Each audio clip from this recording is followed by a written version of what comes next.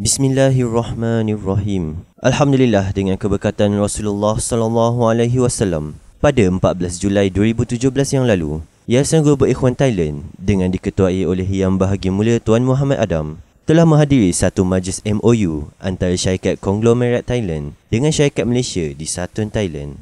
MOU tersebut adalah berkenaan pembinaan jambatan yang menghubungkan Wang Pracan di Satun dan Wang Kelian di Kuala Perlis, Malaysia. Antara yang hadir di situ adalah pemilik kepada syarikat konglomerat tersebut iaitu Puan Maprani. Beliau adalah seorang yang banyak terlibat dengan projek-projek mega dan sanggup melabur dengan jumlah yang besar. Setelah diperkenalkan dengan GISB Holdings sebagai syarikat korporat antarabangsa yang berpusat di Malaysia, beliau sangat kagum dan gembira serta yakin GISB Holdings untuk dijadikan rakan perniagaannya khususnya di Malaysia. Puan Maprani sangat berharap dapat dipertemukan dengan CEO GISB Holdings iaitu Yang Bahagia Mulia Datuk Lokman Hakim Fortin. Yang Bahagia Mulia Tuan Muhammad Adam telah menjemput beliau dan rombongannya ke restoran Ikhwan Fried Chicken Satun untuk jamuan makan.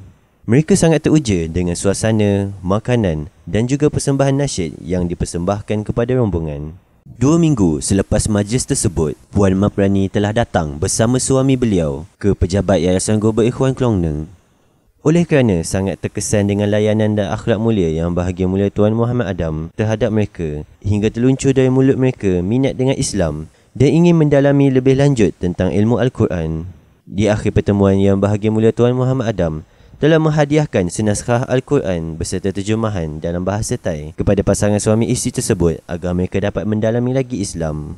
Semoga mereka diberi hidayah oleh Allah untuk menerima Islam satu hari nanti dan Islam semakin dapat didaulatkan di negara Gajah Putih ini. Sekian.